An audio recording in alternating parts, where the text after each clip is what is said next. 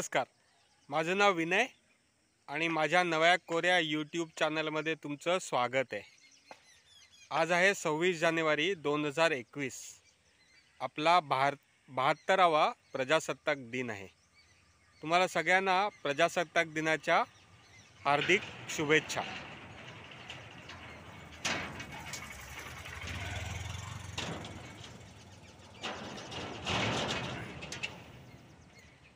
हा आहे साकव. जो कसब्यापासून माझ्या मते इकडे सुतारवाडी आहे तिथे कनेक्ट होतो. आणि आतमध्ये इथे दूध पिता गणपतीचं देवस्थान आहे. त्याचा व्हिडिओ आपण नंतर केव्हा तरी बनवूया. आज मी तुम्हाला कसबा गावाची छोटीशी सफर घडवून आणणार आहे. छोटासाच व्हिडिओ असणार आहे. कृपया व्हिडिओ पूर्णपणे बघा. thank you.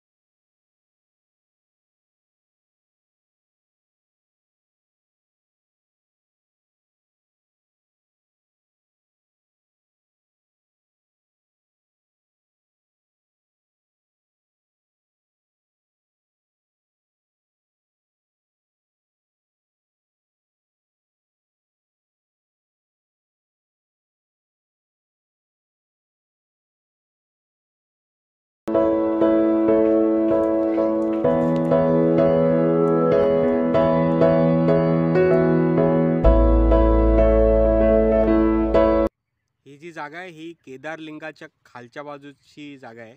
ही आहे शास्त्री नदी. इथली विशेष गोष्ट असं नाही की इथे पण जसं आरवलीला गरम पाण्याचं कुंड आहे ना तसं इथे पण गरम पाण्याचा स्रोत आहे इथे. एक्झॅक्टली कुठे मला माहिती नाही पण याच भागात गरम पाण्याचा स्रोत आहे. असं मला आजोबांनी पण सांगितलं होतं आणि मला पक्की माहिती आहे कारण मी आत्ता एका स्थानिक माणसाला विचारलं त्याने मला सांगितलं की इथे गरम पाण्याचं कुंड आहे.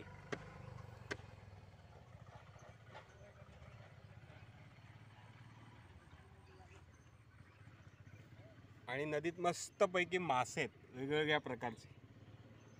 आता तुम्हाला दिसते की नाही मला माहिती नाही.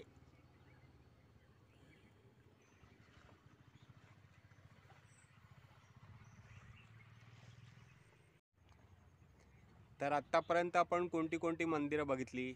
आपण चंडिकादेवी चंडिका देवी मंदिर बघितलं. आपण सोमेश्वर मंदिर बघितलं. आपण कुंभकेश्वर मंदिर बघितलं. आपण कसब्यातला मारुती बघितला. आपण जागमाता देवीचं मंदिर बघितलं. आणि आपण केदारलिंग आता बघायला जाणार आहोत. तिथे आपण आपल्या व्ही लॉगचा शेवट करणार आहोत. शास्त्री नदी. या शास्त्री नदीला मुक्तवाहिनी असं म्हणतात. कारण या शास्त्री नदीवर एकही धरण मोठ्या साईजचा नाही आहे. त्यामुळे नदी ही नदी स्वरूपातच आपल्याला बघायला मिळते.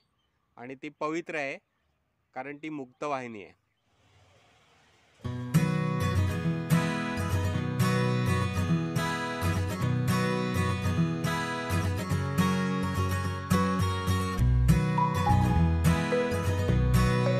तर हा होता आपला अ, कसबा गाव आणि त्याच्या आजूबाजूचा परिसर त्याबद्दलचा हा छोटासा व्हिडिओ होता.